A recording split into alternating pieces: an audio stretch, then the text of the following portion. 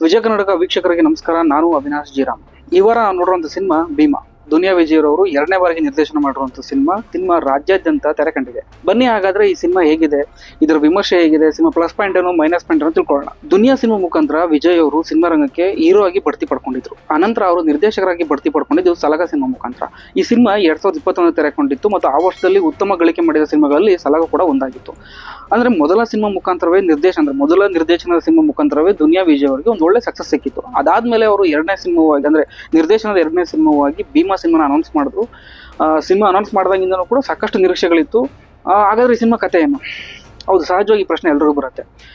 ಈ ಸಿನಿಮಾ ಶುರುವಾದಾಗಿಂದ ಹಿಡಿದು ಸಿನಿಮಾ ತೆರೆ ಕಾಣುವವರೆಗೂ ಕೂಡ ವಿಜಯ್ ಅವರು ಹೇಳಿದ ಒಂದೇ ಮಾತು, ಈ ಸಿನಿಮಾ ಮುಖಾಂತರ ನಾನು ಒಂದು ಸಂದೇಶವನ್ನು ಹೇಳ್ತಾ ಇದ್ದೀನಿ.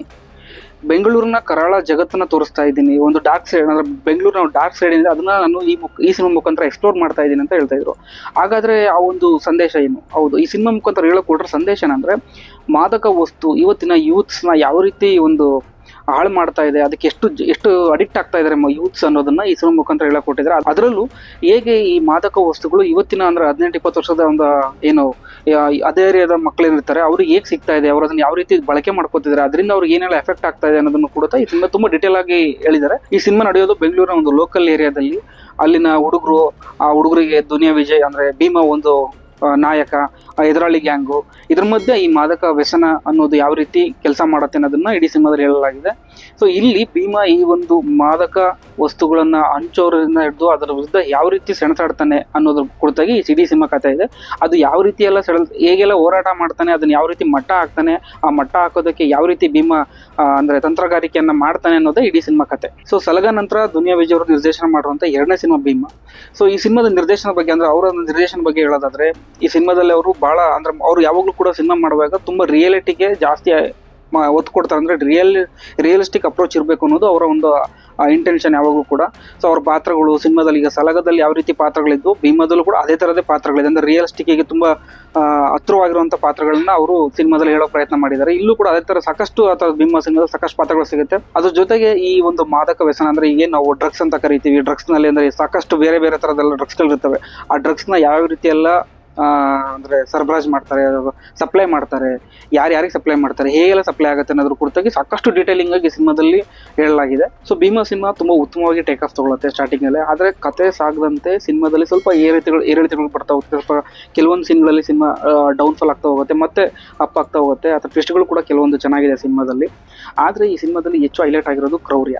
ಅಂದ್ರೆ ಸಾಕಷ್ಟು ಓಡಾಟ ಇದೆ ಸಿನಿಮಾದಲ್ಲಿ ಸಿಕ್ಕಾಪಟ್ಟೆ ಬ್ಲಡ್ ಶೆಡ್ ಇದೆ. ಅದಕ್ಕೋಸ್ಕರ ಸೆನ್ಸಾರ್ನವರು ಈ ಸಿನಿಮಾಗೆ ಎ ಸರ್ಟಿಫಿಕೇಟ್ ಕೊಟ್ಟಿದ್ದಾರೆ. ಅಂದ್ರೆ ಕಡ್ಡಾಯವಾಗಿ ವಯಸ್ಕರು ಮಾತ್ರ ಈ ಸಿನಿಮಾ ನೋಡಬೇಕು ಅನ್ನೋದು ಸರ್ಟಿಫಿಕೇಟ್ ಕೊಟ್ಟಿದ್ದಾರೆ ಈ ಸಿನಿಮಾಗೆ. ಸೊ ಆ ಬ್ಲಡ್ ಶೆಡ್ನ ತುಂಬಾ ಆಗಿರೋದು ಅಂದ್ರೆ ರಿಯಲಿಸ್ಟಿಕ್ ಅಪ್ರೋಚ್ ಇರಬೇಕು ಅನ್ನೋ ಕಾರಣಕ್ಕೆ ಅಷ್ಟೊಂದು ಬ್ಲಡ್ನ ತೋರಿಸಿದ್ರೆ ಏನೋ ಗೊತ್ತಿಲ್ಲ ನಿರ್ದೇಶಕ ದುನಿಯಾ ವಿಜಯ್ ಅವರು. ಆ ಬ್ಲಡ್ ಶೆಡ್ ಜೊತೆಗೆ ಇನ್ನಷ್ಟು ನಿಮ್ಗೆ ಹೈಲೈಟ್ ಆಗೋದಂದ್ರೆ ಸಂಭಾಷಣೆ, ಅಂದ್ರೆ ಅದ್ರಲ್ಲಿ ಬಳಕೆ ಮಾಡಿರುವಂತ ವಾಚ್ಯ ಶಬ್ದಗಳು, ಅಂದ್ರೆ ಈ ಕ್ಯಾರೆಕ್ಟರ್ ಏನ್ ಕತೆ ನಡೆಯೋದೇ ಒಂದು, ಅಂದ್ರೆ ಒಂದು ರೌಡಿಸಮ್ ಜಗತ್ತಲ್ಲಿ ನಡೆಯೋದ್ರಿಂದ. ಸೊ ಅಲ್ಲಿ ತುಂಬಾ ಸಾಕಷ್ಟು ಅವಾಚ್ಯ ಶಬ್ದಗಳನ್ನ ಸಿನಿಮಾದಲ್ಲಿ ಬಳಕೆ ಮಾಡಲಾಗಿದೆ. ಸೊ ಈ ರೀತಿ ಸಂಭಾಷಣೆ ಇರೋದ್ರಿಂದ ಫ್ಯಾಮಿಲಿ ಸಮೇತ ಥಿಯೇಟರ್ಗೆ ಹೋಗಿ ಸಿನಿಮಾ ನೋಡುವಾಗ ಸ್ವಲ್ಪ ಮುಜುಗರ ಅನ್ಸ್ಬೋದು ಅನ್ಸುತ್ತೆ. ಸೊ ಇನ್ನು ಸಿನಿಮಾದ ಮೇಕಿಂಗ್ ಫಾರ್ಮೆಟ್ ಏನಿದೆ ಅದೊಂದ್ರ ಸಲಗ ಸಿನಿಮಾದ ಕಂಟಿನ್ಯೂ ತರ ಕಾಣಿಸುತ್ತೆ ನಿಮಗೆ. ಕೆಲವೊಂದು ಸೀನ್ಗಳಾಗ್ಲಿ ಅಥವಾ ಹೇಳೋ ನರೇಷನ್ ಸ್ಟೈಲ್ ಆಗ್ಬೋದು. ಇದೆಲ್ಲದೂ ಕೂಡ ಸಲಗ ಸಿನಿಮಾದಲ್ಲಿ ಯಾವ ರೀತಿ ಒಂದು ತಂತ್ರಗಳನ್ನ ಅಥವಾ ಒಂದು ಮೇಕಿಂಗ್ ಸ್ಟೈಲ್ನ ದುನಿಯಾ ವಿಜಯ್ ಅವ್ರು ಬಳಕೆ ಮಾಡ್ಕೊಂಡಿದ್ರು. ಅದನ್ನೇ ಇಲ್ಲಿ ಕಂಟಿನ್ಯೂ ಮಾಡಿದ್ದಾರೆ ಅಂತಾನೆ ಅನ್ಸುತ್ತೆ. ಆಮೇಲೆ ಯಾವ ಮಟ್ಟಕ್ಕೆ ಇದರಲ್ಲಿ ಈ ಒಂದು ಮಾದಕ ವ್ಯಸನಗಳನ್ನ, ಮಾದಕ ವಸ್ತುಗಳನ್ನ ಬಳಕೆ ಮಾಡಿದ್ದಾರೆ ಅಥವಾ ಸಿಗರೇಟು, ಡ್ರಿಂಕ್ಸ್ ಇದೆಲ್ಲ ಎಷ್ಟು ಬಳಕೆ ಮಾಡಿದ್ದಾರೆ ಅಂದ್ರೆ ಇಡೀ ಸಿನಿಮಾದಲ್ಲಿ ನೈಂಟಿ ಪರ್ಸೆಂಟ್ ಸ್ಕ್ರೀನ್ ಮೇಲೆ ಧೂಮಪಾನ ಮತ್ತು ಮದ್ಯಪಾನ ಮಾದಕ ವಸ್ತು ಸೇವನೆ ಹಾನಿಕಾರಕ ಅನ್ನೋ ಒಂದೇನು ಎಚ್ಚರಿಕೆ ಇರುತ್ತಲ್ಲ, ಅದು ಸೂಚನೆ, ಅದು ಇಡೀ ಸಿನಿಮಾದಲ್ಲಿ ಆಲ್ಮೋಸ್ಟ್ ಸ್ಕ್ರೀನ್ ಮೇಲೆ ಇರುತ್ತೆ. ಅಷ್ಟೊಂದು ಪ್ರಮಾಣದಲ್ಲಿ ಈ ಸಿನಿಮಾದಲ್ಲಿ ಅದೆಲ್ಲ ತೋರಿಸಿದ್ದಾರೆ ಈ ಸಿನಿಮಾದಲ್ಲಿ. ಇನ್ನು ಸಲಗ ಸಿನಿಮಾದಲ್ಲಿ ನಾವು ನೋಡಿದಂಥ ಒಂದಿಷ್ಟು ಪೆಕ್ಯುಲಿಯರ್ ವಿಚ್, ವಿಕ್ಷಿಪ್ತ, ವಿಚಿತ್ರ ಅನ್ನಿಸೋ ಕ್ಯಾರೆಕ್ಟರ್ಗಳು ಏನಿದ್ವಲ್ಲ, ಅದೇ ಥರದ ಕ್ಯಾರೆಕ್ಟರ್ಗಳು ಇಲ್ಲಿ ಇದೆ. ಶುಂಠಿ ಅನ್ನೋ ಕ್ಯಾರೆಕ್ಟರ್ ಇದೆ. ಆ ಥರದ ಸುಮಾರು ಕ್ಯಾರೆಕ್ಟರ್ಗಳು ಇಲ್ಲೂ ಕೂಡ ಇದೆ. ಅದೆಲ್ಲ ನಿಮಗೆ ಒಂಥರ ವಿಚಿತ್ರವಾದಂಥ ಮನರಂಜನೆ ಕೊಡ್ಬೋದು ಅಂತಲೇ ಹೇಳ್ಬೋದು. ಆರಂಭದಿಂದ ಅಂತ್ಯದವರೆಗೂ ಬಡಿ ಬಡಿ ಕಡಿ, ಅದಂತೂ ಖಂಡಿತ ಇದ್ದೇ ಇರುತ್ತೆ ಸಿನಿಮಾದಲ್ಲಿ.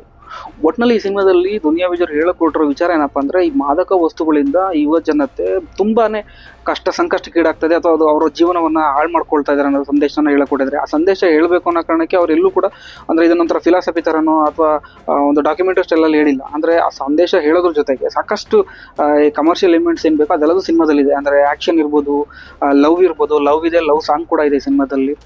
Love track separate love track ಒಂದು ಅವರ ಹೀರೋಯಿನ್ ಒಂದು ಲವ್ ಟ್ರ್ಯಾಕ್ ಕೂಡ ಇದೆ ಇದರಲ್ಲಿ.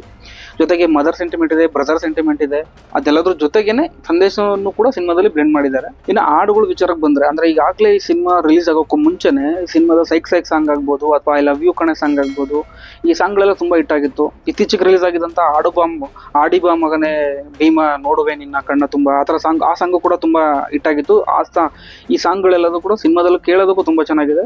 ಜೊತೆಗೆ ಚರಣ್ ರಾಜ್ ಅವರು ಇಲ್ಲಿ ಬ್ಯಾಕ್ಗ್ರೌಂಡ್ ಮ್ಯೂಸಿಕ್ ಬ್ಯಾಕ್ಗ್ರೌಂಡ್ ಮ್ಯೂಸಿಕ್ ಮುಖಾಂತರ ಸಾಕಷ್ಟು ಇನ್ನಷ್ಟು ಅಂದ್ರೆ ಸಿನಿಮಾವನ್ನ ಎತ್ತು ಒಂದು ಮೇಲೆ ಇನ್ನೊಂದೇ ಅಷ್ಟೇ ಹಂತಕ್ಕೆ ಕೊಂಡೊಯ್ಯೋದಕ್ಕೆ ಪ್ರಯತ್ನ ಪಟ್ಟಿದ್ದಾರೆ.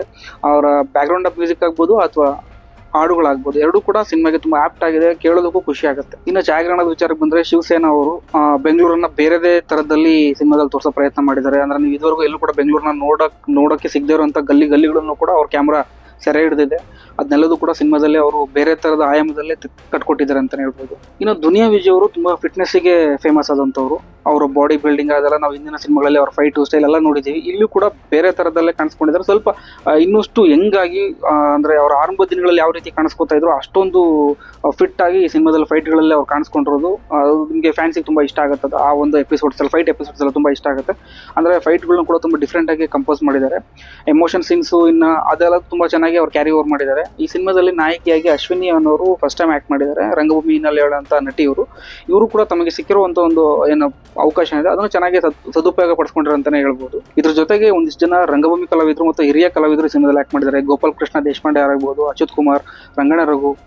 ಕಲ್ಯಾಣಿ ಇವರೆಲ್ಲರೂ ಕೂಡ ಈ ಸಿನಿಮಾದಲ್ಲಿ ಆಕ್ಟ್ ಮಾಡಿದ್ದಾರೆ. ಎಲ್ಲರೂ ಕೂಡ ತಮ್ಮ ತಮ್ಮ ಪಾತ್ರಗಳನ್ನ ತುಂಬಾ ಅಚ್ಚುಕಟ್ಟಾಗಿ ನಿಭಾಯಿಸಿದ್ದಾರೆ ಅಂತಾನೆ ಹೇಳ್ಬೋದು. ಇದೆಲ್ಲರ ಜೊತೆಗೆ ದುನಿಯಾ ವಿಜಿ ಅವರು ಈ ಸಿನಿಮಾದಲ್ಲಿ ಸಾಕಷ್ಟು ಹೊಸ ರಂಗಭೂಮಿ ಹಿನ್ನೆಲೆ- ಉಳ್ಳಂತ ಸಾಕಷ್ಟು ಹೊಸ ಕಲಾವಿದರಿಗೆ ಅವಕಾಶ ಕೊಟ್ಟಿದ್ದಾರೆ. ಅದರಲ್ಲಿ ಮೇನ್ ಆಗಿ ಈ ಸಿನಿಮಾದಲ್ಲಿ ಕಳಾ ಪಾತ್ರ ಮಾಡಿರುವಂತ ಡ್ರ್ಯಾಗನ್ ಮಂಜು ಇವರು ಈ ಸಿನಿಮಾದಲ್ಲಿ ವಿಲನ್ ಪಾತ್ರ ಮಾಡಿದ್ದಾರೆ. ಅವರಿಗೆ ಯಾವುದೇ ನಟನೆಯ ಹಿನ್ನೆಲೆ ಇಲ್ಲ ಬಟ್ ಆದ್ರೆ ಸಿನಿಮಾದಲ್ಲಿ ತುಂಬಾ ಚೆನ್ನಾಗಿ ಅಭಿನಯಿಸುವ ಪ್ರಯತ್ನ ಮಾಡಿದ್ದಾರೆ. ಅವ್ರ ನಟನೆಯನ್ನು ಇನ್ನಷ್ಟು ಅಂದ್ರೆ ಸೀರಿಯಸ್ ತಗೊಂಡ್ರೆ ಖಂಡಿತ ಕನ್ನಡ ಚಿತ್ರರಂಗ ಒಳ್ಳೆ ಉತ್ತಮ ವಿಲನ್ ಆಗುವ ಸಾಧ್ಯತೆಗಳಿದೆ.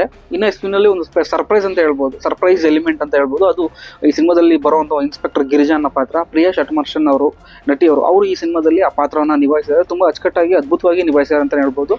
ಅವರಿಗೆ ಬಹುಶಃ ಈ ಸಿನಿಮಾ ಮುಖಾಂತರ, ಈ ಸಿನಿಮಾ ಆದ್ಮೇಲೆ ಸಾಕಷ್ಟು ಈ ತರದೊಂದು ಪೊಲೀಸ್ ಪಾತ್ರಗಳು ಸಿಗ್ಬೋದು, ಸಾಧ್ಯತೆಗಳು ಹೆಚ್ಚಿದೆ ಅಂತಾನೆ ಹೇಳ್ಬೋದು. ಇನ್ನು ರಾಘು ಶಿವಮೊಗ್ಗ, ಕಾಕ್ರೋಚ್ ಸುದಿ ಮಲ್ಲ, ಇವರೆಲ್ಲರೂ ತುಂಬಾ ಚೆನ್ನಾಗಿ ಆಕ್ಟ್ ಮಾಡಿದ್ದಾರೆ.